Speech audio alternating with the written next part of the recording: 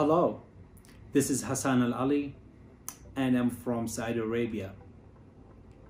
I'm studying chemical and biological engineer and I choose to take the course Engineering 300 which is 3D printing because I think it's, it's going to be really benefit to my field in the future.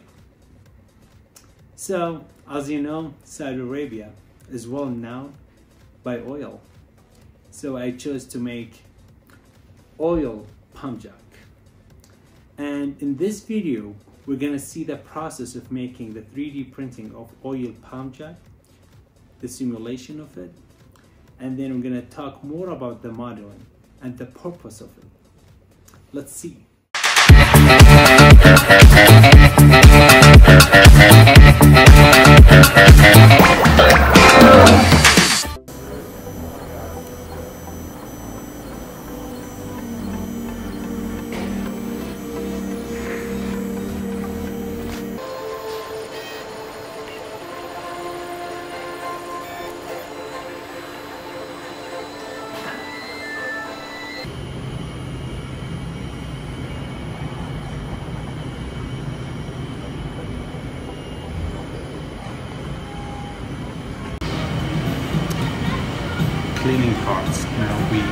Clean this. Take extra layers here. So we take the extra layers here. So as you can see, we need to remove also base area.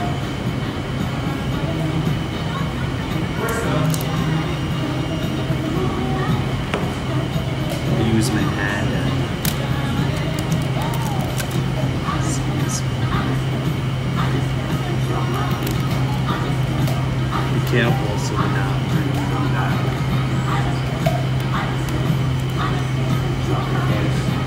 So the goal and purpose of 3D printing. With 3D printing, designer have the ability to uh, to turn the concept to the 3D modeling and prototype and implement rapid design changes. With the 3D printing, we can have better visual than 2D or on the screen, as well as saving money by taking off the large area into the small area. Finally, we can also have final product by 3D printing, like tripods. The goal of making this design. So basically many industries has a lot of kind um, of oil pump jack. And this is one simulation of it. So we usually use this to get better visual of the parts of it so you can see it in all angles and that's the main reason of making this design. So this is the simulation of pump jack and uh, this is structure usually in metal structure and they also call it oil horses or oil derricks. Uh, so the pump jack usually use it to uh, extract oil from the ground and uh, the, they function as traditionally sucker rod pumps and it's made up of five parts. Now let's go to the parts of oil pump jack. Um, so this is the Simpson post, which is the base and hold the walking beam and the crank. So as well as the body of the uh, pump jack is called a walking beam and it acts as a giant lever. The tail end of the pump jack is a crank and a counterweight, which work together to move the walking beam up and down. As the walking beam moves, the head pops up and down as well. A long metal rod, which is that one, called a pruddle, extends downward from the head and penetrates deep into the ground, reaching the oil well. As the pump jack's head pops up and down, the rod goes up and down as well. So this is the actual uh, simulation we have. We use uh, its code and we print it. And um, it's here we successfully print the walking arm, uh, walking beam. And that's called uh, pitman arm. And pitman arm is a different location from pipe jack to another pipe jack and that one is um, has uh, counterweight and crank.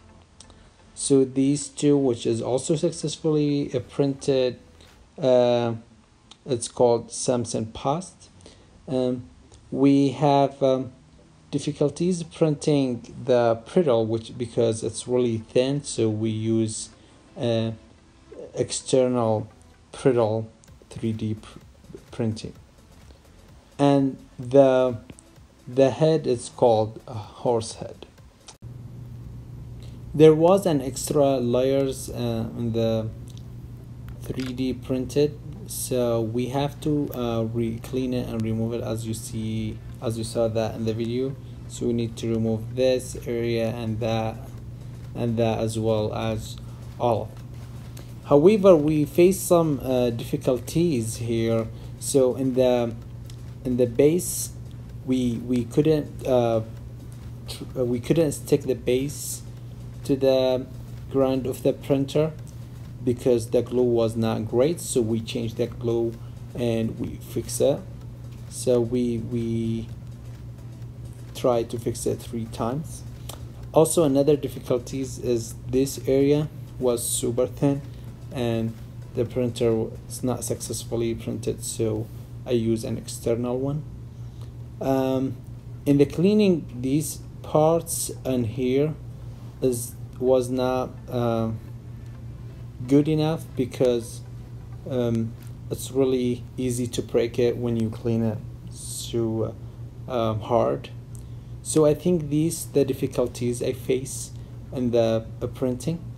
However uh, in the future I can I can uh, do divide my printing to two. Like I kind of print this first and then printing the top one after that. I think this gonna make it um, easier for the printing. About my project. So my project as you can see is really small and easy to carry. However I got to finish it in more than 11 hours. So my printer, I, uh, the printer I use is not the best, as well as the material. So um, this is one difficulty I face. Also, the base was not the best, and we tried to fix it three times. And however, we get it done uh, good enough, as you can see. Uh, finally, 3D printing is really uh, great for uh, best uh, visualization in uh, simulation. You can see it in, uh, and you can touch it in all angles. So I think you can explain every part in the material easy to the industries or to high school students or college students to uh, make him understand the uh, the project easily. Um, I think uh, I'm gonna take uh, another uh, course about how to model the uh, the project like AutoCAD or SolidWorks because I need that in my field that's what I have and thank you so much for your listening. See you.